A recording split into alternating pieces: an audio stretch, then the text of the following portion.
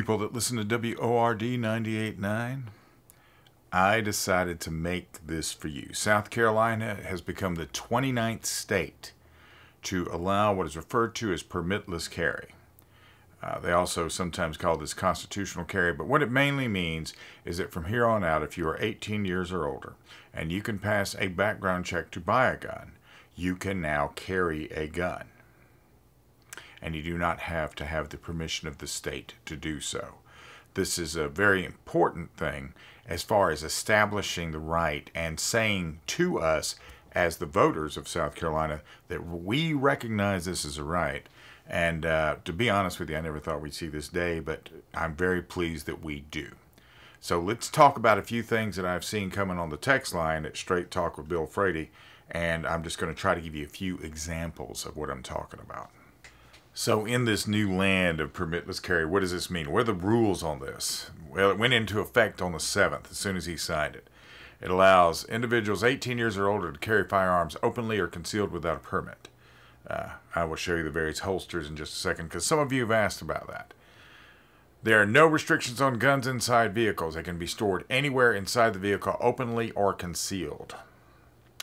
Possession of a firearm alone is not a reason to stop an individual. To make a stop, there must be a reasonable and articulable suspicion of a crime that has occurred.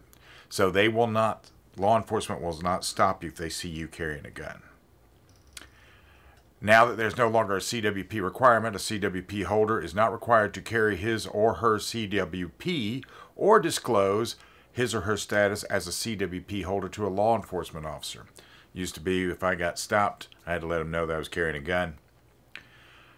Firearms are still prohibited in many locations, including inside schools, churches, law enforcement facilities, including detention and correctional facilities, anywhere medical procedures are performed, courthouses, public buildings, and any place clearly marked with a sign prohibiting the carrying of a firearm that has to be within the regulations stated by South Carolina law and individuals 18 years of age and older will now be apply, uh, you know, you can now be eligible to apply for a CWP. So, what isn't in place right now, they were talking about the free training you're going to get. They haven't quite developed that yet, but it is coming, and uh, it will probably be the same training you would get as a CWP, uh, CWP holder. Um, I will tell you this there are two reasons to still get a concealed weapon permit. Number one, I, as a CWP holder of the state of South Carolina, I am allowed to carry a gun into any other state that has reciprocity with South Carolina, which I think is between 35 and 38 states. So I'm not confined just to the borders here of South Carolina. Number two, I do not go through a background check when I am buying a gun. I don't know if that's going to change anytime soon. The only question I have about this permitless carry now is whether or not uh, an 18 year old can actually buy a handgun.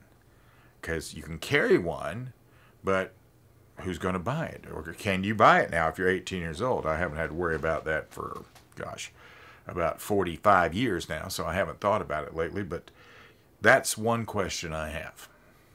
Now then, the only other thing left to consider for those of you, I'm not going to, there's two things I'm not going to do. I'm not going to tell you what kind of gun to buy. And I'm not going to tell you uh, what kind of holsters you need to buy. I'm going to show you the two types of holsters. Well, actually, three. I'm going to show you three different types of holsters.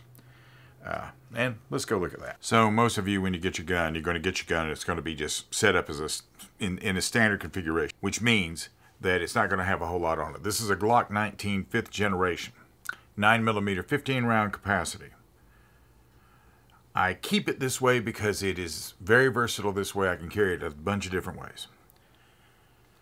But my primary carry weapon is a Glock 45. This has both a red dot optic and a flashlight on the accessory rail. Um, it is heavier. It's still a 9 millimeters, basically the same gun as this one, except a little bit bigger. Um, so, how do I carry these weapons? So first up, as a holster to carry a weapon, this is the Tenicor ARX R8. It's spelled A-R-X. This is a Kydex holster that is designed to, it, it's really going to ride close to your body. And this fits and it conceals the gun outside the waistband. Outside the waistband. a lot of you are thinking, uh, well, I can carry outside the waistband and I can carry in the open now. Well, I'm going to burst a bubble on that one, but for inside the waistband, now this is actually going to go inside your pants and clip onto your belt right here. And this fits this gun with the light and the optic, and it's it's ride very rides very close. You're going to give a little cleaner silhouette as you're standing there. You're not going to be noticeable. With either one of these, if you're wearing under a cover garment, you're not going to be noticeable. That in and of itself, as civilians, is sort of what we want, right? However, for those of you that want to carry outside the waistband, and you want to carry in the open, here's the problem. When you carry a gun in the open, you're going to be noticed. And it doesn't matter if your fellow citizen notice you, but if you're in a place where a crime starts to unfold, you're going to be the first one they're going to be keying in on. So, but if you're going to carry outside, if you're going to carry out in the open, uh, I recommend a retention holster. This is a G code XSR. This keeps the gun in here. It has to be activated by myself with this thumb depression that pops that loose, and then I can pull the gun out and deploy it. If I'm carrying in the open, if I can carry, if I'm carrying where everybody can see, I'm going to want a holster that keeps the gun in my control. There are other ways to carry guns as well that are off body, uh, you know, and the only problem with an off body carry that, that would be like in a fanny pack or a specially designed backpack is that when you're carrying, you're going to find this out. When you're carrying, you do not want anything to get into the trigger guard. This is how we have what is referred to as a negligent discharge. So, and that's just a quick primer on this. There's so much more to go with it. But there are places here in in the broadcast area of WORD where you can get the proper training that you need to carry a handgun successfully. 28 other states have been doing it for a long time. As far as permitless carry, I'm pretty sure South Carolina can uh, do this as well.